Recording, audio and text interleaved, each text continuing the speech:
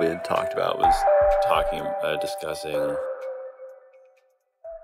like client and uh, healer experiences of consciousness work or of Yeah.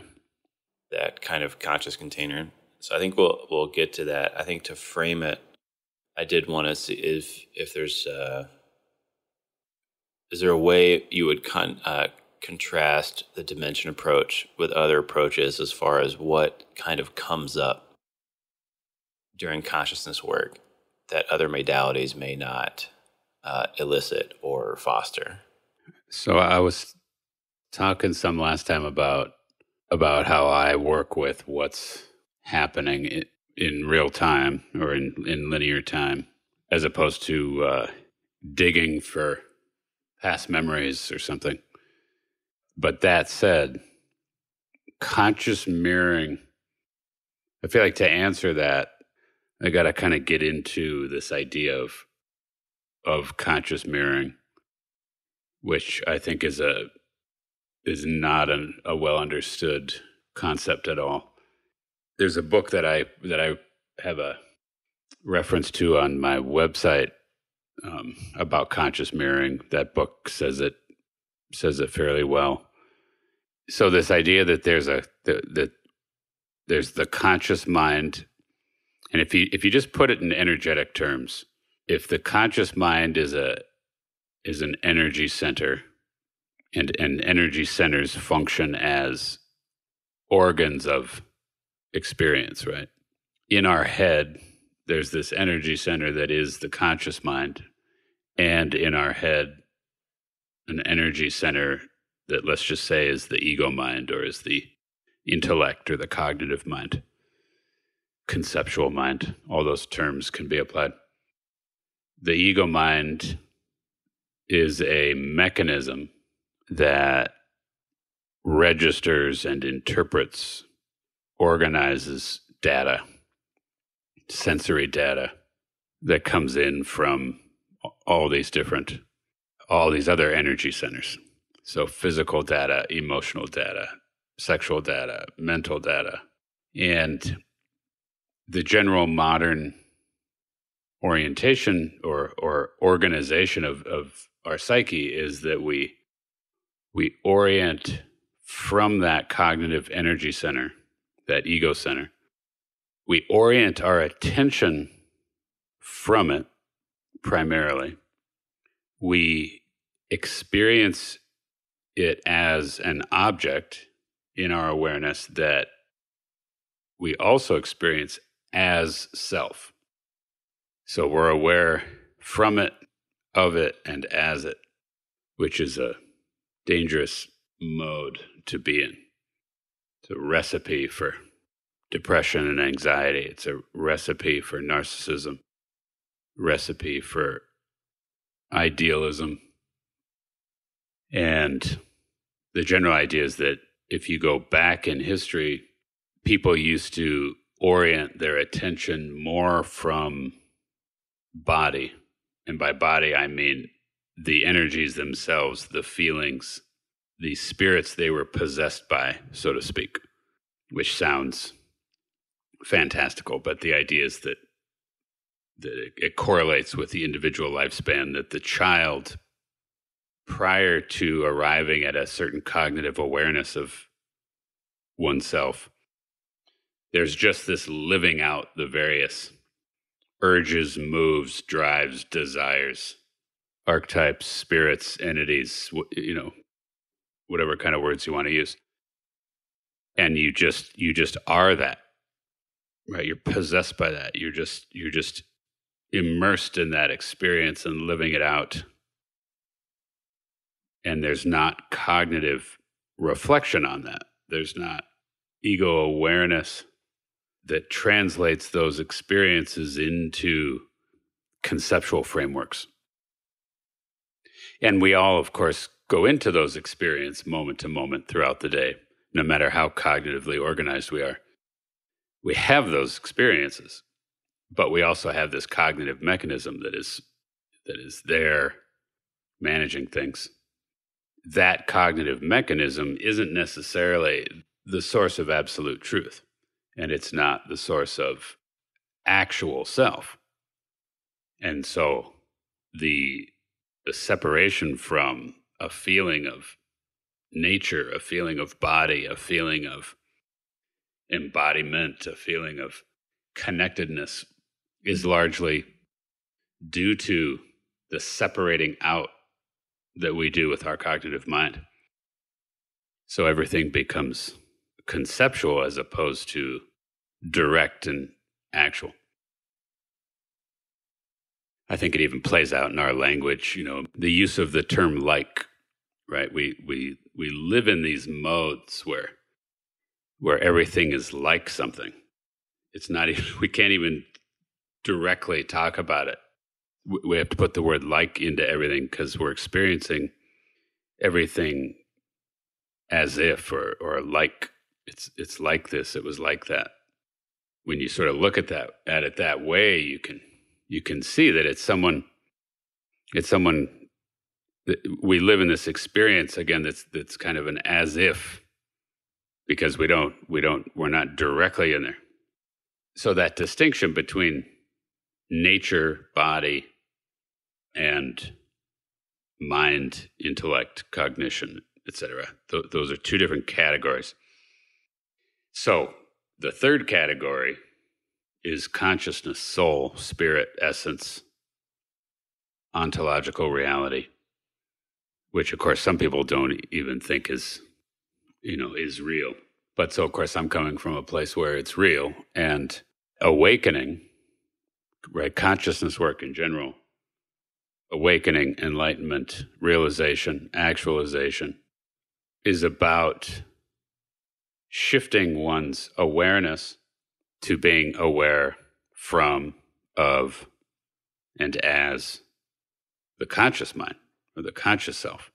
So there's this interplay between the two constantly. No one is no one is 100% disconnected from consciousness and only being aware from ego. Or at least not for very long. If if one is aware just from ego, from the ego mind, it's very very dark the ego mind absent consciousness is darkness. If you stick with the uh, physical analogy around this stuff, that consciousness is light, awareness is space, and matter is ego. You know, the analogy works in that the earth minus light, minus the sun, is pitch black, right? It's not a self illuminating thing.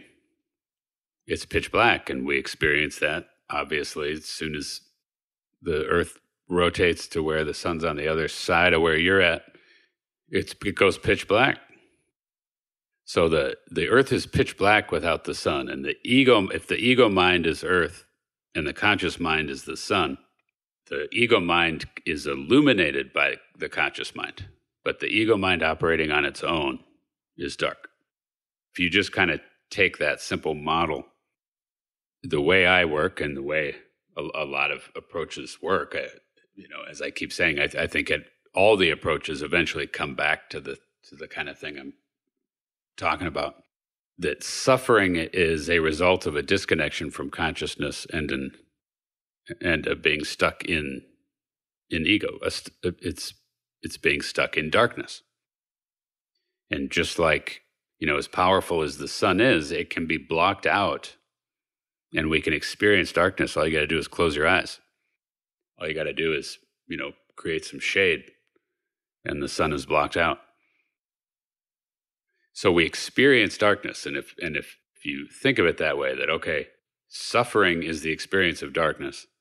But the truth is, the sun has not gone out. If you're experiencing darkness, that doesn't mean the sun is gone. It means it's blocked. So, whatever isolation, disconnection, rejection, forsakenness, etc., etc., we we may feel. The truth is, the sun has not abandoned us. It's that there's something going on that is that is in the way of our direct experience of it. Starting from there, when I'm working with someone, whatever it is they are suffering, my first first step, first thought, you know, my my orientation is okay, can I use my conscious mind which shines light? Can I use mine to shine light on the place in their psyche where they're experiencing darkness? Which means, if you put it in mental emotional terms, it means can I see, tolerate, accept, empathize, be with the experience, the thought, the feeling, the vibration that that person's having? Can I remain conscious in the midst of the experience that they are struggling to remain conscious in? To the extent that I can, then I can be a help to them. We can get into the to the various phases of that and the different relational dynamics that can go on in that process because it's usually not just as simple as here let me shine light on it there you go doesn't that feel better because it's really the process isn't complete until that person's consciousness can now illuminate that part of their psyche. They may feel temporary relief and often do when they're connecting with me and I'm shining light on it. You know, and they often report that, okay, when they leave my office, that relief goes away. They either decide, well, that didn't work, or they, you know, decide I need to get back in and get another appointment as soon as possible. I'm always working with the goal of helping them get to where they can consciously be present with in in that part of their psyche and and when that happens they no longer they no longer need me so if i try to come back around to answering your question you still there by the way yeah yeah i'm still here so i'm saying okay a person's suffering in a certain way. They they have some kind of symptom, physical, emotional, mental, etc. And th- they're presenting that symptom to me. To a certain extent, they name it or they talk about it or describe it, but far more than what their cognitive mind is naming. I'm feeling into and looking with my conscious mind at what's going on and noticing intuitively sensing uh, where the the quote unquote problem is. So they may come in and say, "I get headaches," or "I struggle with depression," or "My knee hurts," and it's like, okay, I certainly want that information and use that information, but I'm feeling into okay, what's going on in their body, in their subtle fields, in their mind, and and what's the relationship between their conscious mind in these various places? And and what's the overall pattern? And by pattern i mean blocking of their consciousness from this part of their psyche and then this sitting with being present with holding space for like containing eventually mirroring um, in an attempt to undo the pattern in the process of that, a lot of different things can come up. The nature of it is that the person is blocking conscious awareness from the area for a reason. They're usually no longer aware of the reason. They're no longer aware of what area of the psyche it is that's being blocked. They're not aware of how it is they're blocking it. All they know is they have this symptom. And in the process of getting their conscious attention back in contact with that part of their psyche, to varying degrees, they become aware of what it was they were blocking, why they were blocking it. But it's to varying degrees. It's not necessarily that they they have a cognitive memory of a certain event. It's not that they necessarily cognitively register all the nuances of the emotions that were involved in the trauma, etc.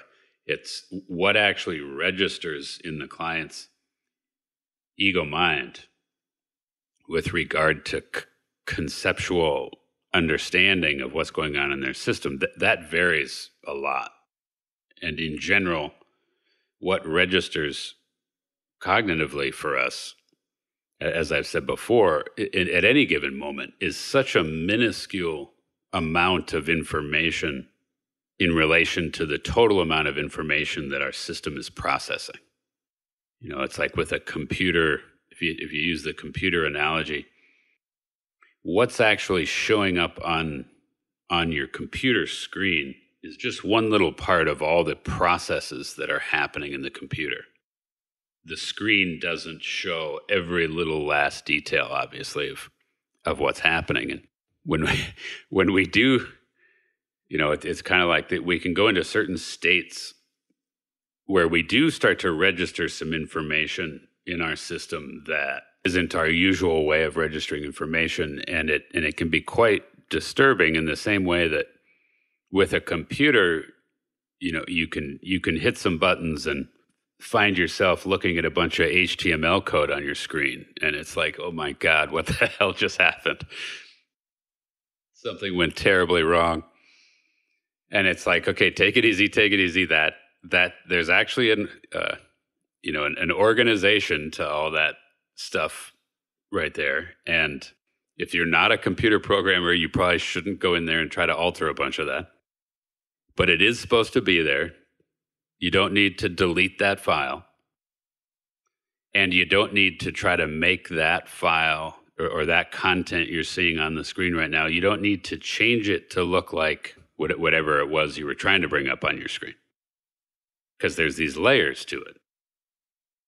And our psyche's like that. And I'm saying that the, for example, the imaginal layer looks a certain way that does not look or feel or behave the way rational, conceptual information looks in our mind, which does not look the same way that emotion does, which does not look the same way that physical sensation does which does not look the way that spiritual conscious experience does. So the cognitive mind is there doing its thing, registering, interpreting, organizing, making up stories. It varies in a huge way, moment to moment, client to client, as far as what's actually showing up there versus to what extent is a client capable of directly experiencing emotion, for example, instead of just translating it into thought.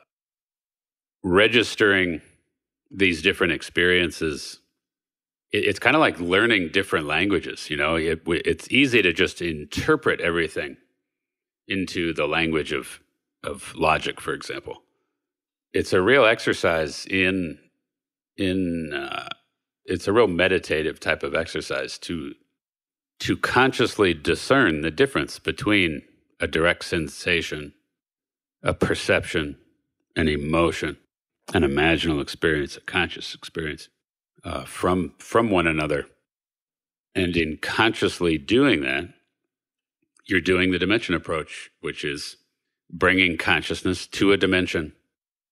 Right. The the reason I call it the dimension approach is because I'm using the word dimension in a real general way to say every every different experience, every context that we might have an experience in is is really a different dimension in the in the mind, different dimension in the psyche, different dimension in the body. And it's a way of you know trying to name and and be able to separate out how it works because again to use the computer analogy the way i experience it and see other people experience it. It's very similar to a computer in that we seem to have this this screen, this mind screen that has different stuff show up on it. And what shows up on the mind screen is what we become ego aware of.